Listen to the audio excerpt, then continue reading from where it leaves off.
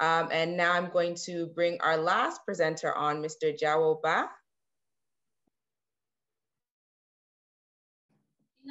Can you hear me now? Yes, we can hear you. Okay. Um, good afternoon, all. Um, from my end, um, Abdulai Jawo Bah. I'm a lecturer at the College of Medicine and Allied Health Sciences, Pharmacology, and my background is pharmacy. But at the moment, I'm doing a PhD program in, at the Queen Margaret University in Scotland, Edinburgh, on global mental health. And my presentation here this afternoon will be on the mental health imp implications of COVID-19 on healthcare workers in Sierra Leone.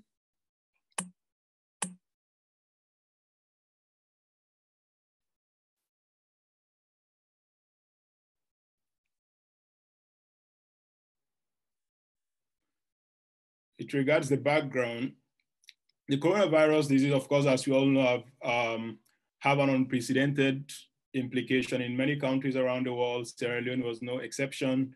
And the government initiated response against COVID-19 even before the first index case in Sierra Leone by closing borders, canceling, um, closing the international airports, which we only have one in Sierra Leone.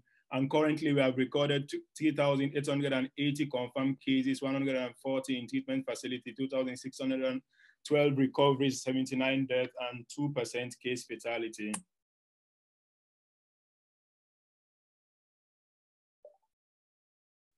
Healthcare workers are exposed, as we all know, to traumatic events and other stressors, which may represent risk to their personal, family, and professional life.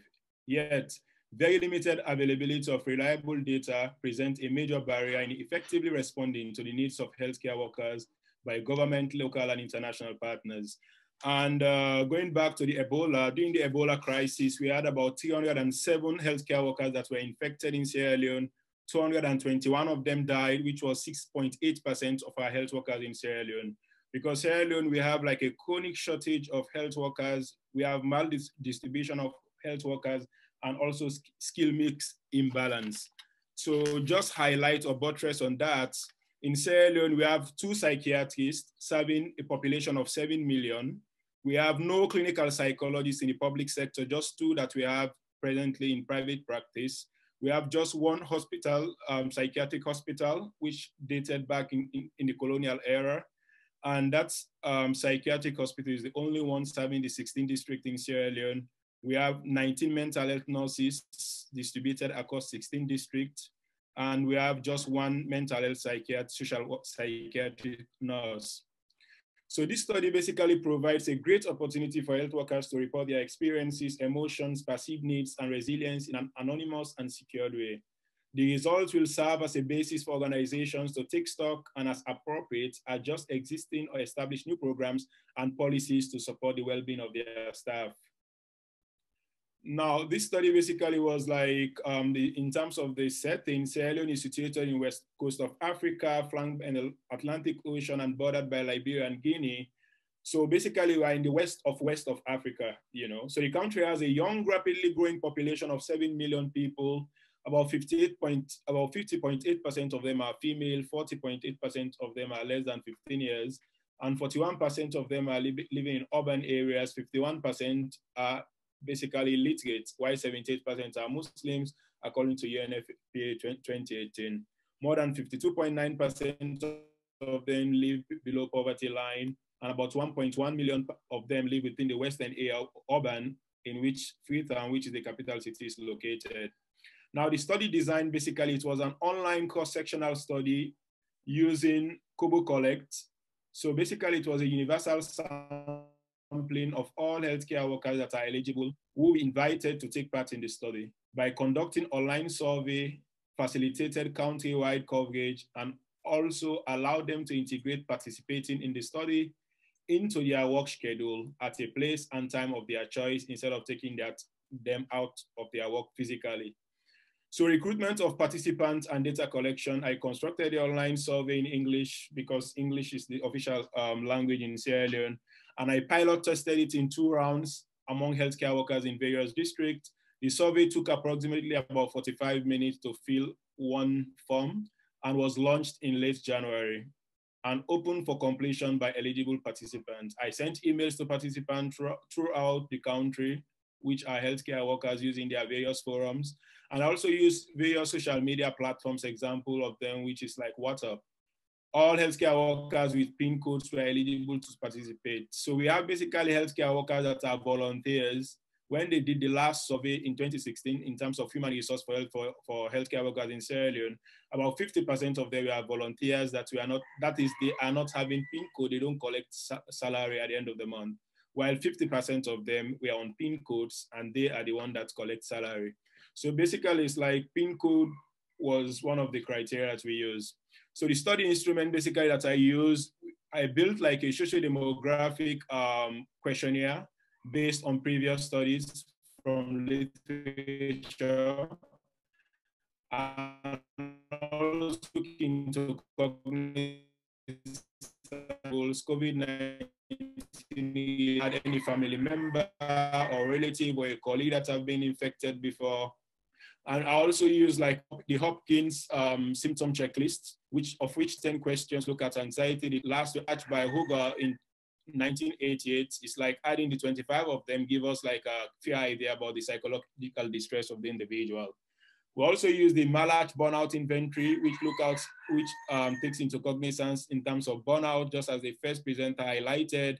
We look at um, e um, emotional exhaustion. We look at depersonalization, and also, and also we looked at passion, pas personal accomplishment.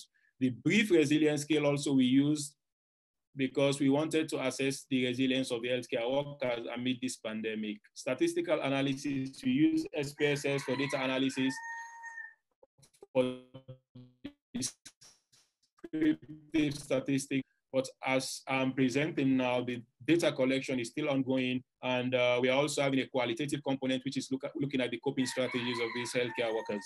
Ethical approval, we applied for ethics approval to the Sierra Leone Ethics Research and Scientific Committee and we are granted. And the online form also has like a participant information sheet at the front and also informed consent form. And we made it very clear that it is purely voluntary and individual to access before having access to the um, research. Now, this basically is like the social demographic data of, of, of, the healthcare workers in terms of gender, age, religion, profession, their highest level of education, marital status, their salary, because their monthly salary is like per month. And we also ask them if they have like, if they have kids living with them and also if they are living with the elderly above 60 years and if, um, and where they are currently stationed in terms of like, whether it is in the Western area, Northern province, East and Southern province. We also looked at um, the COVID-related variables, looking at asking by asking them if they are frontline health workers and if they were directly involved in the Ebola response. That is, we are trying to assess whether being part of the Ebola response gave them some amount of resilience or give them added advantage, and also if um, the pandemic affected their spiritual life. We also asked them in terms of having pre-existing medical condition as healthcare workers, as we all know, that's one of the vulnerabilities or, or risk factors for, for, for COVID-19 um, in terms of mortality. And also we asked them in the past one month if they have experienced any symptoms. That is, we are trying to assess if they have like any somatic symptoms. We also asked them if they have like um, colleagues that lost their lives and also um, relatives that have lost their lives in the pandemic or they are infected and recovered or infected are currently isolated. We also asked them if they, were, if they have been stigmatized, as in the case of the Ebola, for being healthcare um, provider during this COVID, um, COVID pandemic. Now, when we use the instrument, it's like um, that we that I already highlighted. We realize that in terms of psychological distress, anxiety, depression, and resilience, we realize that the level of anxiety, um, psychological distress, that's, that is when we had the 25 questions, according to Hogg and um, a paper that was published looking at breast cancer patients, we realized that 16.4% of these healthcare workers demonstrated symptom that is um, predictive of um, psychological distress. 16.4 also for anxiety, 20% for depression. And when you look at the resilience, we realize that it was 50-50, meaning that in terms of low and moderate, but no, none of them had any high amounts of resilience as healthcare providers. In terms of the burnout, when you use the Maslach uh, burnout inventory, looking at emotional exhaustion, depersonalization, professional accomplishment, we realize that in terms of emotional exhaustion, we realize that um, over 54.5% of them had low, while slight, slight, slight um, 43.6% of them had moderate and 1.8 of them have had high. In terms of depersonalization, we have 70.9% of them had moderate, 14.5% high, and low was 14.5%. And we also look at personal accomplishment, which was the, the disappointing part of it. We realized that about all, all of them, 100% of them, had low sense of personal accomplishment. Now, I'm looking at putting into context in terms of the distribution of the health facilities where these health workers were working, we can see here that um, some of them were working in the private hospital, private surgeries, COVID COVID-19 con contact tracing centers, primary health unit, and uh, public hospital was the highest, second to the um, public health institution like malaria, TB, and HIV programs. Now, we also try to look at what are the stressors that um, these healthcare workers are, are, are enduring.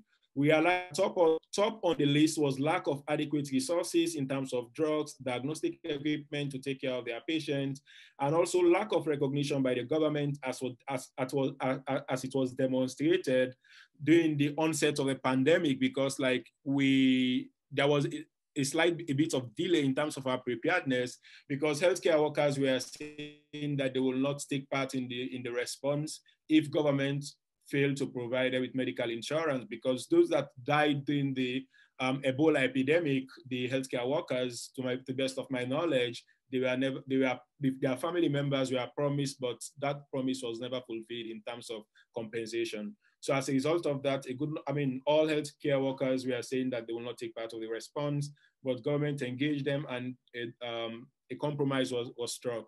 So basically, it's like that is like in the, in the form of compensation for individual healthcare workers if anything should go wrong. And during this COVID-19, we've also lost about five healthcare workers. Three of them are medical doctors and the others are nurses. So we also have like lack of protective equipment that is like gloves, eh, um, also lack of the PPEs, and lack of sanitizer, that came third in the list. And also we have lack of psychologic, psychological or psychosocial support for healthcare workers, which, is, which was very deplorable because um, during the Ebola epidemic, when 6.85 when 6.85% of the healthcare workers died, that was one of the recommendations that psychological or psychosocial support should be provided for healthcare workers taking part in future pandemics. But basically, that is, to the best of my knowledge, up till now, I've not been materialized. So economic and financial problems, lack of time to carry out other activities like studying, lack of recognition by management, excess workload, lack of direct direction by management, that is lack of vision, and lack of autonomy as a healthcare worker, relationship problems with